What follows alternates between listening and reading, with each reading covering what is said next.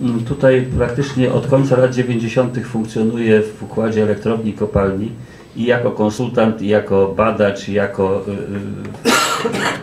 mediator w sporach zbiorowych, także znam, znam y, ludzi z tej, z, tej, z tej firmy i myślę, że o tym trzeba chwilę porozmawiać, bo oczywiście tutaj ta dyskusja była bardzo ciekawa i y, myślę, że, że, że taka dyskusja na poziomie wizji, żebyśmy widzieli, y, y, jakie perspektywy przed nami stoją, jakie szanse, jakie zagrożenia. I to mniej więcej wynika z tej pierwszej części dyskusji. Natomiast jeżeli popatrzymy w węższym, w węższej perspektywie na to, co się dzieje w Bełchatowie, co się będzie działo, no to ja postawię taką tezę właśnie naukową, że presja na zmianę powoduje bardzo silny opór wobec zmian. I akurat tutaj na tej sali dzisiaj nie było przedstawicieli tej części, kt- która na przykład y, y, wiele związków zawodowych jest, jest w elektrowni w kopalni, że wymienię tylko sierpień 80, z którym się ścierałem wielokrotnie. Y, Także gdyby tutaj było 15 związkowców, to byłaby ta dyskusja bardziej ostra. Natomiast mnie nie chodzi o to, żeby tutaj budować jakiś, jakiś konflikt, tylko chodzi mi o to, żebyśmy sobie zdali sprawę, że bez zrozumienia świadomości pracowników elektrowni i kopalni bardzo trudno jest budować konkretne rozwiązania organizacyjne. Bo jak ja czytam, że no to trzeba niech się górnicy czy energetycy przekwalifikują. No to znaczy, że ten ktoś nie był ani w kopalni, ani w elektrowni. Dlatego, że ja byłem i w kopalni, i w elektrowni i wiem, jak wygląda tego typu, typu praca.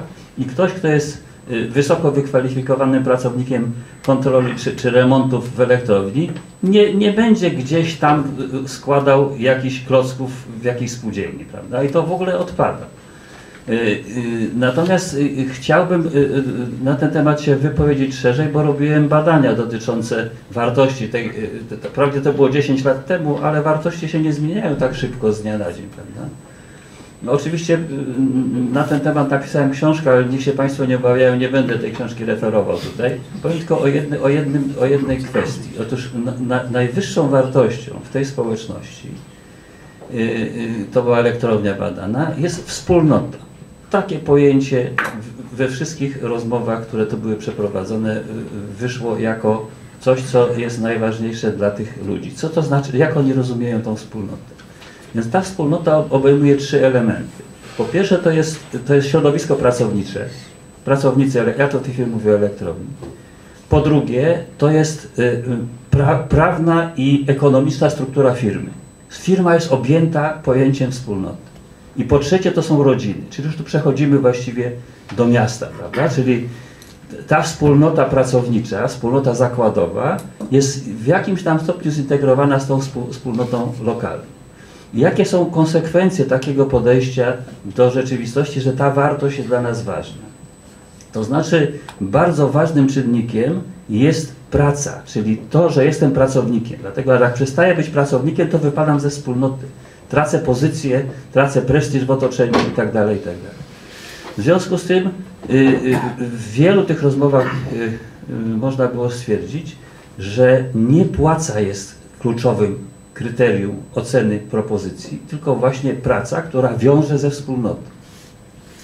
I dlatego, jeżeli y, y, chcemy mówić o jakichś rozwiązaniach y, własnościowych, czy to przemysł, czy, czy no, tutaj by, były różne propozycje z Poznania, prawda, OZE, inne, inne działania, to wydaje mi się, że w przypadku Bełchatowa trzeba wziąć pod uwagę istnienie czegoś takiego jak ta wspólnota, bo ona nie istnieje tylko w umysłach y, pracowników, tylko y, na co dzień działa, prawda?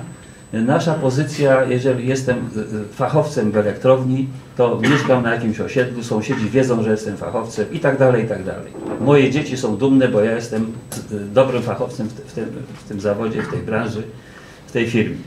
I y, chodzi mi o to, że żeby jednak y, nie, y, jeżeli mówimy o pewnych rozwiązaniach, załóżmy, że nazwijmy to planem B, bo co będzie ze Złoczewem, no to nie wiemy, prawda? Ja politycznie też raczej jestem sceptyczny, żeby taki projekt wyszedł. Politycznie w sensie braku finansowania, panie profesorze. No, ale to się dla mnie wiąże, no. bo politycy będą mówili, że słuchajcie, nie martwcie się chłopaki, wszystko będzie dobrze.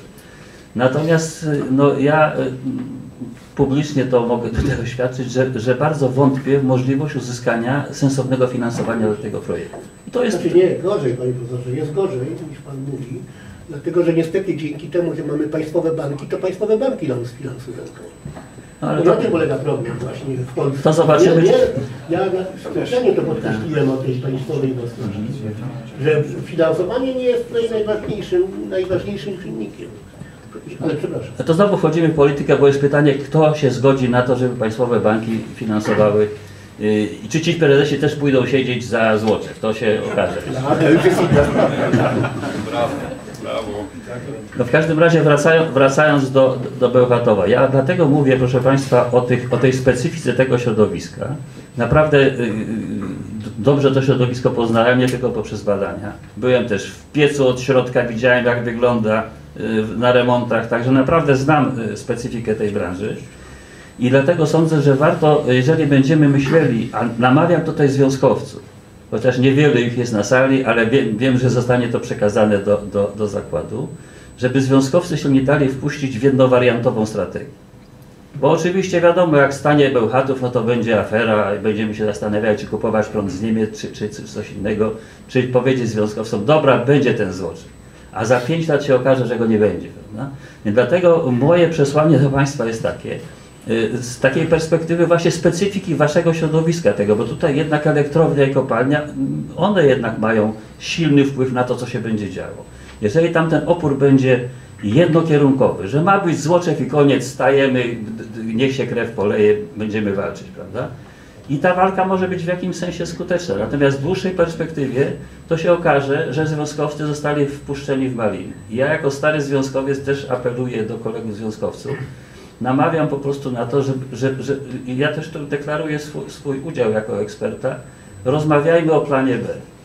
Czy jakie to są rozwiązania, to już jest dalsza rozmowa, ale moim zdaniem powinien być wzięty pod uwagę ten element zachowania wspólnoty. Że nie rozjeżdżamy się do Łodzi i we wszystkich możliwych kierunkach, tylko zastanawiamy się nad inwestycjami, które są możliwe tutaj. I tu można używać nacisku politycznego. O to trzeba y, apelować czy sugerować polityków, a nie tylko o to, żeby obiecali, że będzie złocze. Dziękuję bardzo.